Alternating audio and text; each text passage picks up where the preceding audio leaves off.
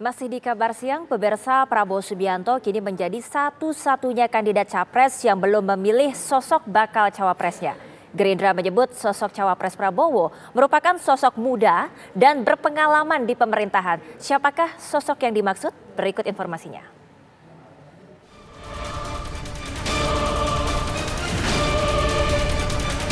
Publik menanti siapa sosok cawapres yang akan dipilih Prabowo Subianto melawan dua pasangan yang sudah mendaftar ke KPU untuk Pilpres 2024. Sekjen Partai Gerindra Ahmad Muzani melontarkan kisi-kisi cawapres Prabowo merupakan anak muda dan berpengalaman di pemerintahan. Hal ini ia kemukakan melalui dua pantun yang terpisah. Saya cuma mau memberi isyarat kisi-kisi tentang calon wakil presidennya Pak Prabowo hanya dengan dua pantun. Nah. Indonesia negeri yang kaya, penduduknya berjuta-juta. Kita ingin Indonesia jaya, Prabowo dan anak muda jawabannya. Anak muda Mas Menteri atau Mas? Beli pisang sambil sepedaan, pulangnya mampir stasiun balapan Cawapres Pak Prabowo akan segera diumumkan, dia sosok berpengalaman di pemerintahan.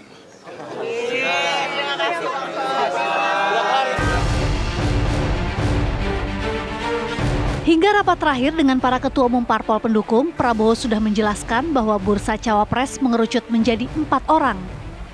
Mereka adalah sosok dari Jawa Barat, Jawa Tengah, Jawa Timur, dan luar Jawa cawapres kita juga tadi melaksanakan diskusi di mana setiap ketua partai menyampaikan pandangan-pandangannya yang akhirnya kita malam hari ini sudah mengerucut menjadi empat nama. Empat nama yang bisa sampaikan adalah satu calon dari luar Jawa satu calon dari Jawa Barat satu calon dari Jawa Tengah, satu calon dari Jawa Timur. Jika melihat kriteria yang disampaikan, yaitu muda, berpengalaman di pemerintahan, dan daerah asal, publik menduga keempat sosok tersebut adalah Erick Thohir, Gibran Raka Buming Raka, Khofifah Indar Parawansa, dan Yusril Iza Mahendra.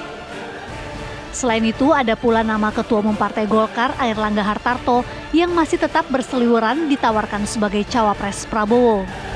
Erick Thohir menjadi yang paling moncer di sejumlah lembaga survei sebagai sosok cawapres.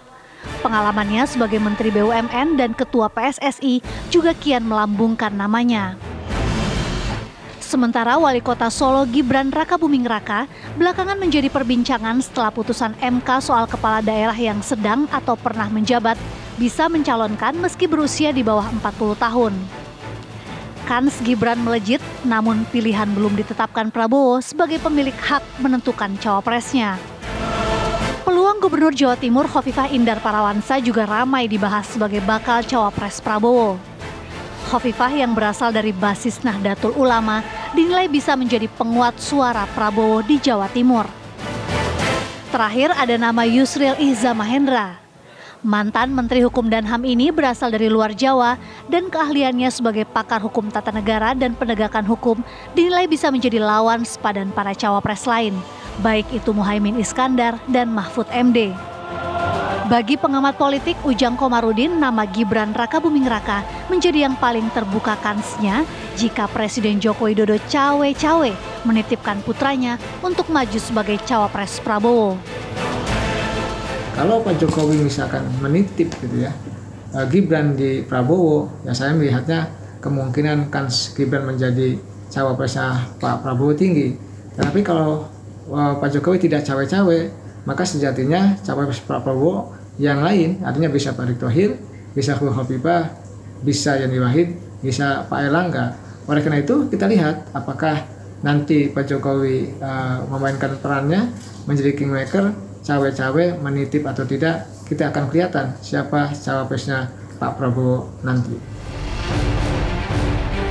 Prabowo memang punya berbagai pilihan, Namun skenario Prabowo Gibran sebagai pasangan Capres-Cawapres dinilai sebagai alur yang paling mudah terbaca saat ini dari kacamata pengamat politik. Kita sudah bisa menduga keputusan MK kemarin seperti itu, jadi gampang banget ketebak. Dan kemudian pergeseran-pergeseran uh, partai politik maupun uh, relawan Pak Jokowi yang tegak lurus dengan dirinya itu sudah lama pindah ke Pak Prabowo. Jadi kalau kemudian kita akan melihat pasangan Prabowo Gibran ya itu bukan hal yang baru lagi. Kalau kemudian kita melihat di kertas suara ada nama Pak Prabowo bersanding dengan Mas Gibran itu udah ketebak banget gampang kita tebaknya dan ya sudah nanti kita mau pilih atau tidak Koalisi Indonesia Maju memang masih memiliki waktu untuk mempertimbangkan sosok bakal calon wakil presiden pendamping sebelum jadwal pendaftaran calon presiden dan calon wakil presiden ditutup pada 25 Oktober 2023. Sosok yang akan dipilih Prabowo nantinya akan mengarungi kontestasi adu gagasan dan pemikiran membangun bangsa melawan pasangan Anies Baswedan Muhaimin Iskandar dan Ganjar Pranowo Mahfud MD. Tim TV One mengabarkan.